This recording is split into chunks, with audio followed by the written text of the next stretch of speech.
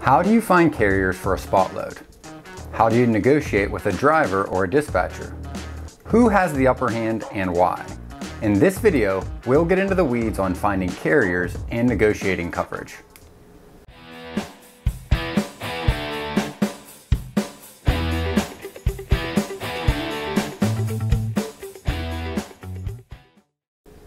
I'm Benjamin Kowalski with Freight 360, where we provide the latest transportation sales tips and training videos to help you reach your goals faster. If you're new here, make sure you go ahead and hit the subscribe button to be notified when we drop our weekly videos. And all of the links and details will be found in the description box below. For more free content, please be sure to check out our website, freight360.net, to access our entire library. There are more than a few places to find carriers. You can Google trucks and surrounding zip codes near your shipper. You can pay for a service like Carrier Lists that compiles lists of verified carriers and lanes. But the two most common ways to find carriers and cover loads is to utilize a load board like DAT or Truckstop. These load boards are the open market of the trucking industry, a place where available trucks can post up their information to indicate they have a driver with a particular type of equipment available on a specific date. Then brokers are able to contact trucks that fit their criteria in hopes of securing that driver to haul their load. Now, the other side of this marketplace is the ability to post up available loads the freight brokers are offering to carriers. The posts include the dates of pickup and delivery, the equipment needed, and often the rate being offered. Then dispatchers or drivers will contact the brokers to negotiate the final terms of booking the load. Now, posting loads and trucks are the two most common ways of finding carriers and covering loads.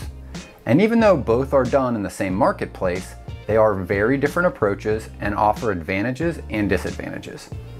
Remember that car carriers have two priorities from our recent video how to find carriers. Now, how much am I making?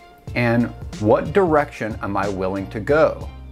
Those priorities will shift based on the amount of days or hours left in a driver's week, and either their desire to get home or to make it to another load that they've already booked previously.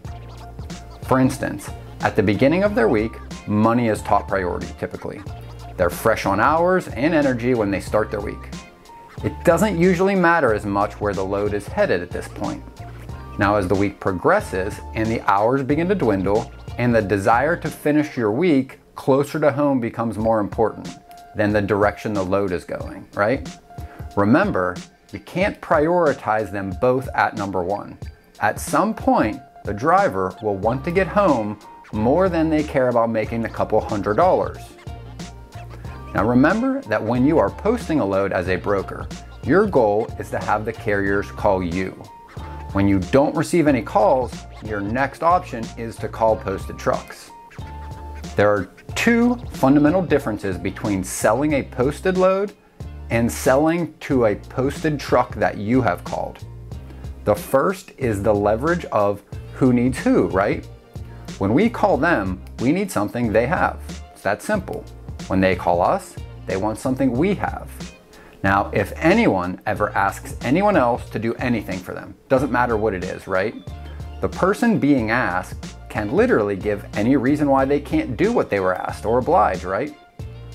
And the responsibility of convincing them falls on the person asking for something, right? That's the case in every negotiation, and it's no different here, right? But the second and most often overlooked is the aspect of direction. When they call a freight broker on a posted load, the dispatcher can't say that their driver doesn't want to go in that direction, right? They have given up that leverage when they picked up the phone, called us, and indicated that, you know, hey, this direction is desirable to the driver. It would work, right? Otherwise, why would they be calling us? This is why posting loads is far more effective at getting a lower rate and why you should post your loads before starting to call out. Some tips on negotiating more effectively. When we call them, the first technique to reduce their leverage is to ask a simple question.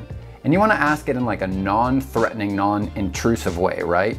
and it's gonna be like, hey, you know, what direction is your driver looking to head? Is there any particular area that works better than others for him? Now, what does this accomplish, right? Well, hopefully they're gonna say the direction your load was headed. And if that happens, great. You've eliminated the card that they were gonna play in the next hand, right? Now they're not able to say that, you know, your load's headed south isn't where that driver wanted to go.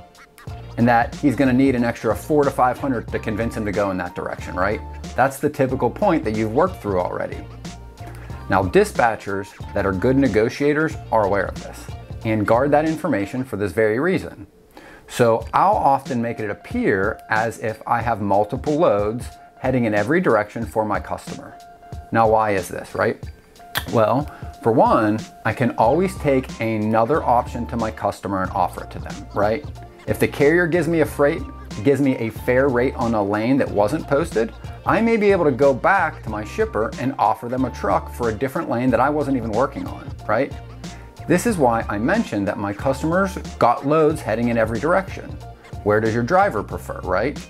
Because if this driver is in the area often, I may be able to take a negotiation of a spot or transactional load, right, just one load, and be able to take this dispatcher I'm talking to and turn them into a dedicated option for maybe another lane that my customer has. And that's a win-win for everybody. Remember, as middlemen, freight brokers can offer value to both carriers and shippers in many different ways. Look for the areas where the drivers need to benefit. Does he need to get his driver home for the week? Are they chasing the highest rate today? Is there a happy medium where your shipper might not pay the most, but maybe they load trucks really fast and the shipments are very lightweight? Don't just get caught up in the money of the load. There are many other things that are important to a driver and a carrier. The more creative you are, the more likely you are to succeed in finding the right carrier. For more on this, check out our course, Freight Broker Basics, and our group coaching program. And remember, whether you believe you can or believe you can't, you're right.